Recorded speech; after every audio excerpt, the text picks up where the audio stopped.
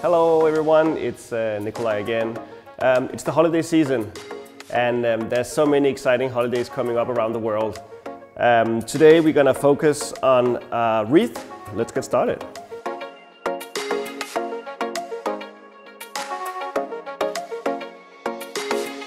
Um, I have prepared some uh, different materials um, for this wreath that we're going to make. Um, what's uh, specific about all the materials is that uh, they dry very nicely. So I have picked up um, a lot of Baronias, some leucadendron, a lot of different berries, uh, rose hips and so forth. I made the base of the wreath of a soft cypress. Um, this is um, uh, used a lot for the holiday seasons. Um, I built it on a uh, like a sponge uh, wreath and um, it's sort of decorated with green uh, all the way around. So we're having all these exciting um, leucadendron, um, there's some eucalyptus seed pods. There's so many really, really exciting stuff. So what's really cool about all these materials is that they dry really, really beautifully. So uh, first I'm gonna sort of lay the base of the wreath and I'm gonna do that with this uh, rose hip. So I'm basically gonna go the same direction all the way around uh, with the same material.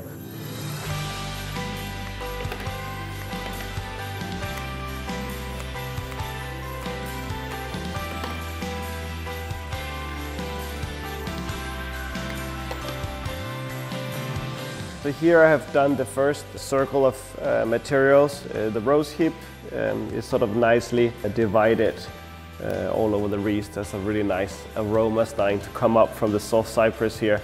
So this is the first uh, layer. We're gonna go into the uh, different Baronias.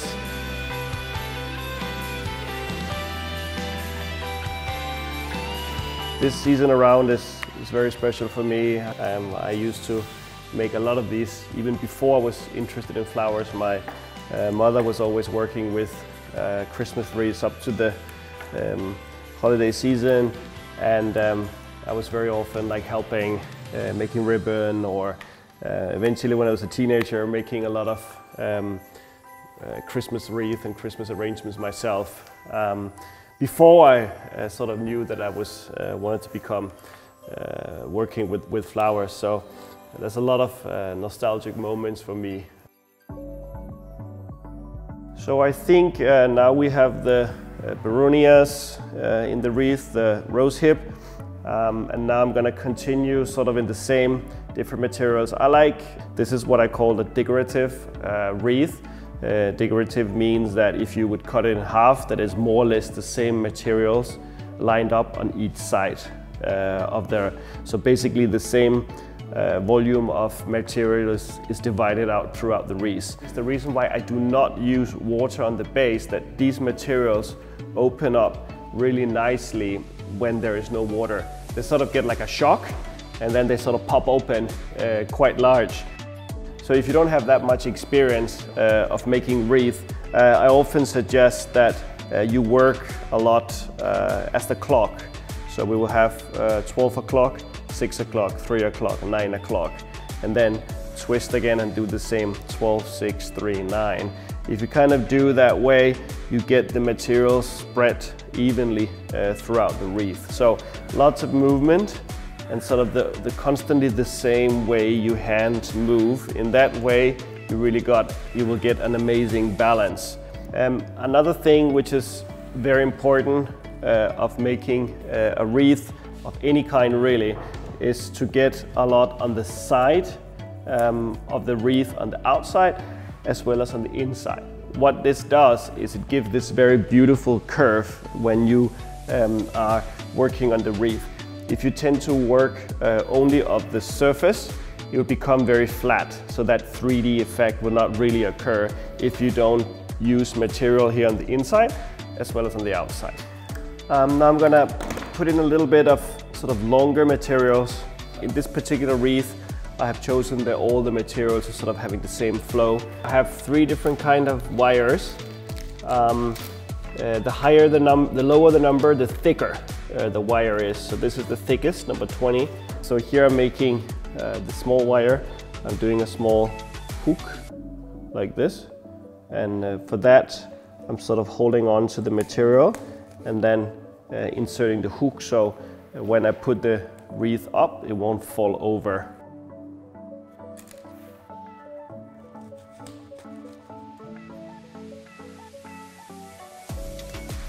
And when I insert the wire, um, as I'm holding uh, this sort of the different materials into the wreath, uh, I never go like a straight angle down. I always go a sort of uh, in an angle like this or the other way.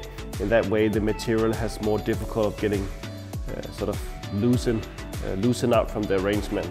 So the next step before finishing up the wreath is um, putting in a lot of dry material. In this uh, bowl here I have uh, gathered different dry materials uh, for the holiday season. Uh, half of them is, uh, has been gold painted and the other ones have natural like the, the, the pine cones and the, um, the dry uh, seed pods here. So um, I'll just show you um, two pine cones here, how I often wire them before I use them in, in wreath or arrangements. So um, if you want to show uh, the top, you go on the bottom here, I use one wire on the very top.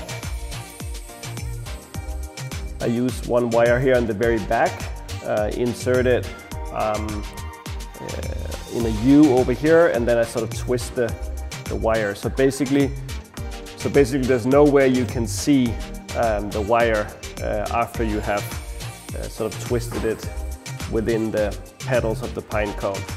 And then I sort of twist the wire um, so it becomes like one uh, item like this. And then here I would sort of cut on the bottom. So this is nice and straight and only one uh, stem will sort of go into uh, the wreath. Since the wreath is now quite full, there's a lot of things going on, it can be more difficult with the balance to really uh, find out where you put what. So at this stage, I focus a lot on doing it quite systematically. So for instance here, I would put in a pine cone at 12 o'clock here, and then I would go down at 6 o'clock. You see I put in one here. Then I would go over here at 3 o'clock.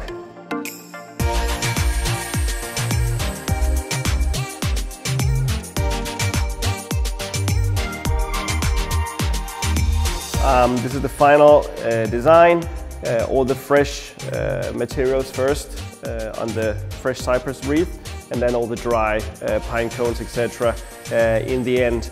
Um, beautiful smells and a nice holiday feeling. It's really fun to watch over the next couple of months. So um, I wish you all happy holidays and thanks for watching.